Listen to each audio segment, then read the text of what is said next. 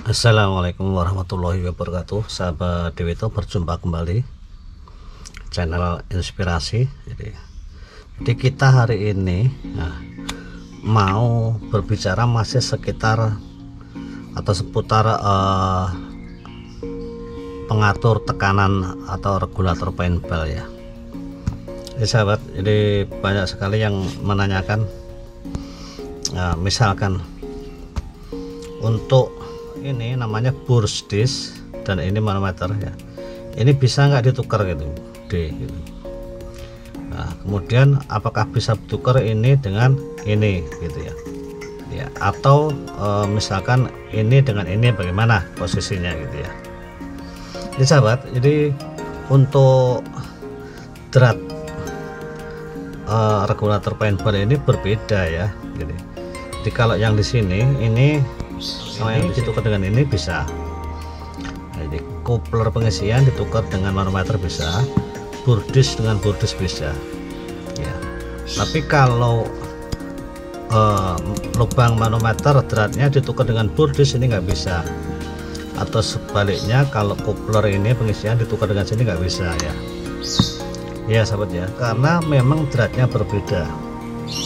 Jadi kalau yang di sini ini menggunakan M10 kali 1 dengan kayak yang di sini uh, inci. Ini seperempat ya sahabat ya.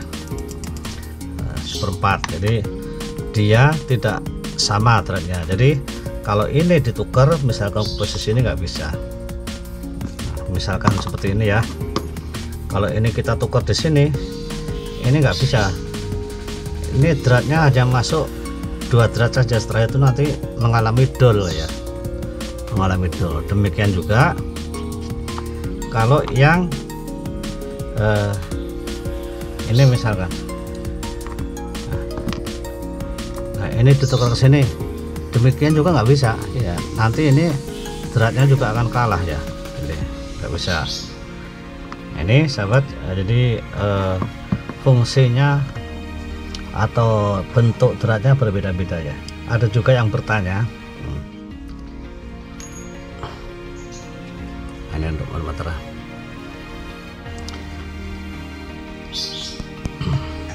ada yang juga yang bertanya deh kalau ini misalkan uh, diganti dengan baut baut biasa misalkan seperti ini boleh nggak ini?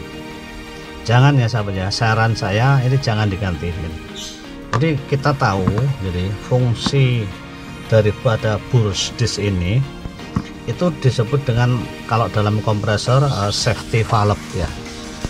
Dalam kompresor safety valve dalam hidrolik pressure valve ya. Itu. Kalau dalam uh, air safety valve juga bisa disebut gitu. Ya.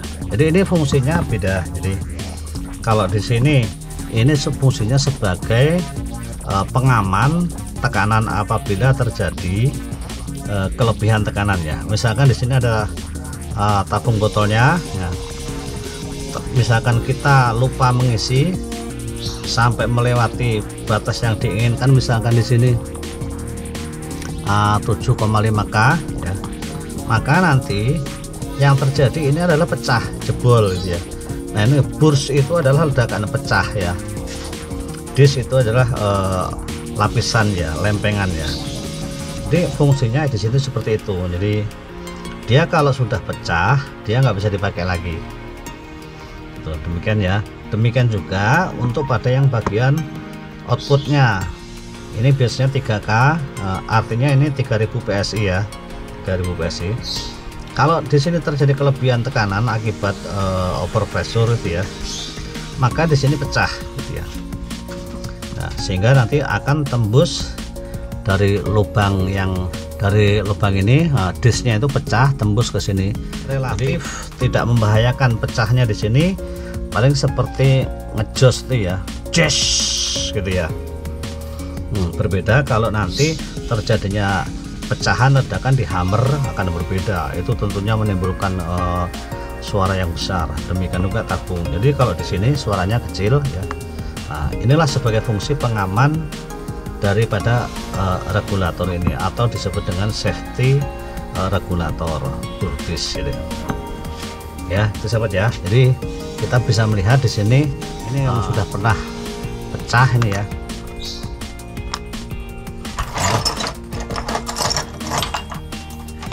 Jadi karena uh, over jadi pecah ini ini udah tembus ini. Dari sini juga tembus gitu ini juga udah tembus tuh ya. Kelihatan ya. Kalau ini langsung tembus ini. Jadi seperti itu. Nah sekarang kita lihat konstruksi daripada burdis itu bagaimana. Kita lihat di sini ini kebetulan udah saya buka jadi seperti ini. Ya jadi ini uh, uh, drat atau nipple biasa. Nah, kemudian di sini bagian tengahnya ini ada inilah yang disebut dengan blade atau disknya ini sebagai pengaman dan ini adalah plat penutup uh, atau plat uh, seatnya ya. Jadi seperti itu. Di ini masuk ke sini nah posisinya seperti ini. Nah kemudian ini masuk ke sini. Ya. ah seperti ini tinggal pasangnya ya kecuali kalau dalam kondisi terpaksa ya. Di disk karena disknya ini yang pecah ini yang pecah ini jebol ya ini bisa diganti ya. cuman ini materialnya kelihatannya khusus ini ya, kuningan atau apa itu ya. Nah, ini udah melalui proses uh, uji coba tentunya jadi. Ini plat ini tebalnya berbeda-beda tergantung tekanannya. Kalau 7,5K tentunya akan lebih tebal lagi. 5K lebih tipis dan 3K paling tipis. Ada lagi yang sampai 1,8K itu ya artinya 1800 nah. Itu sahabat ya jadi uh, tidak disarankan jika terjadi uh, namanya ini? rusak diganti dengan menggunakan baut ditutup gitu ya. Ini di samping menyebabkan dia dol lubangnya tapi menyebabkan tidak ada fungsi safety pada unit kita. Nah, itu tidak disarankan dan sangat membahayakan. Nah karena ini harganya juga nggak terlalu mahal ini kalau nggak salah cuman 50.000 atau 30 40.000 ya ini. Jadi ini bermacam-macam hmm, mulai dari ukuran 7K 5K 4,5K 3K sampai 1,8K nah, mungkin di bawah itu nggak ada ya. Jadi itu sahabat ya jadi mudah-mudahan ini bisa menjawab pertanyaan dari sahabat bahwa drat untuk burdis dengan manometer berbeda. Kalau burdis ini standarnya dia seperempat in kalau ini M10 kali satu ini sama ini. Jadi tidak bisa ditukar-tukar dan posisi pemasangannya yang tinggi ini posisi di depan ini untuk yang tujuh setengah K. Ini kalau kita lihat dengan tekanan yang IC 3000 ini juga terlalu tinggi gitu ya. Tapi kenyataannya saya pernah isi di sini ini pakai 3K itu ya. Tekan 3 depan jebol terus gitu ya. Dan yang rendah ini untuk yang outputnya. Artinya 3K mudah-mudahan bisa memberikan uh, jawaban. Terima kasih. Wassalamualaikum warahmatullahi wabarakatuh